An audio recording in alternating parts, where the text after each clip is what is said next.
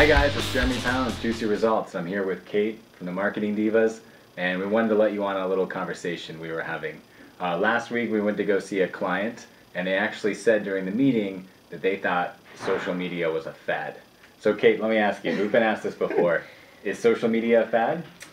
Uh, well, considering we started our business uh, to do so- social media for companies, I hope it's not a fad. Otherwise, I'm in in big trouble.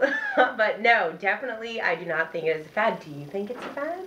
Well, when I'm at, when someone tells me that social media is a fad in a meeting, or if they ask that, I say, you know what, you're probably right. It's just a 15-year fad, and then eventually it'll be replaced by something else. But you might as well take advantage of it while it's working. Absolutely. So, you know, the thing that, that I always like to bring up is that if you look at the email marketing trends, which most people that say social media is a fad probably used to say email marketing was a fad, and now they're doing it. And you know what? Now, if you look at email marketing, it's decreasing. People are using it less. How are they spending that time or getting that information?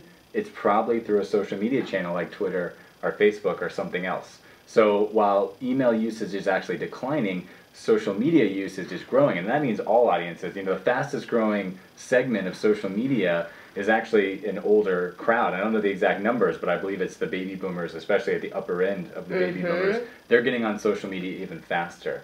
And so everybody talks about how people are coming on Facebook and teens aren't using it. Well, they're still using social media. So whatever the platform is may change, but I think the world is more connected than ever, and that's not going to change, right? No, absolutely not. It's it is really interesting. You know, brands, people are really connecting with brands and companies. Mhm. Um, how often how often do you look at somebody, you find a new company or um, or brand that you like, and what do you do? You immediately go to their Facebook page to see what they have going on, to see some of the photos that they're posting. So.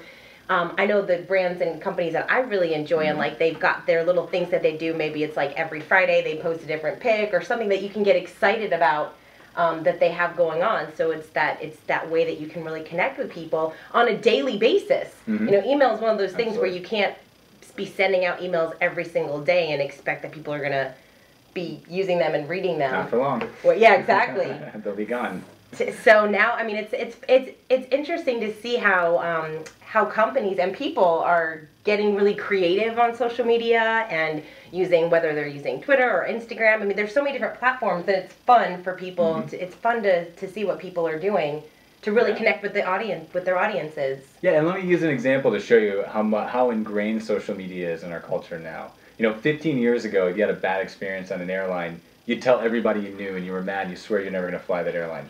Five or 10 years later, you'd go on the internet and you tell everybody. Mhm. Today, you tweet the airline, or you, you expect a response. You expect to be able to go right to them and hear back, and if not, it's catastrophic. absolutely So the way our expectations of interaction with, with brands and with companies uh, dramatically changed. Yeah, that is really true. I was Mhm. actually on a flight um, when I went up to inbound in Boston, and I went and I uh, I found JetBlue on Mhm. Twitter, and I'm like, I'm gonna tweet them something because you know even just to see if they would connect back with me. I Mhm. thought it was just a fun uh, fun way to connect with someone. So. Um, it's it's definitely different times, and we're seeing a lot of different trends. But like you Absolutely. said, from email, I mean, even search, the way that people are searching, and when everyone's talking about SEO and being found online, and social media is becoming increasingly more important to get found online. I mean, SEO is um, obviously an important part of, 100%. of your internet strategy. And Yeah, Google has, has admitted that their algorithm has been updated to include what they call social signals as a, as a ranking factor. And what that means is that, you know, if you have content that people are sharing and liking, especially on Google Plus, but also on Twitter and Facebook, then that actually elevates uh, the likelihood that that will rank when people are searching. And that's brand new. When I say brand new, I mean the last couple of years, but it's only going to grow. So if SEO is important to you, then I think social media has to be important to you too. yeah, And while you while your competitors are out there saying that social media is a fad, you can you can get some real ground on them by doing that.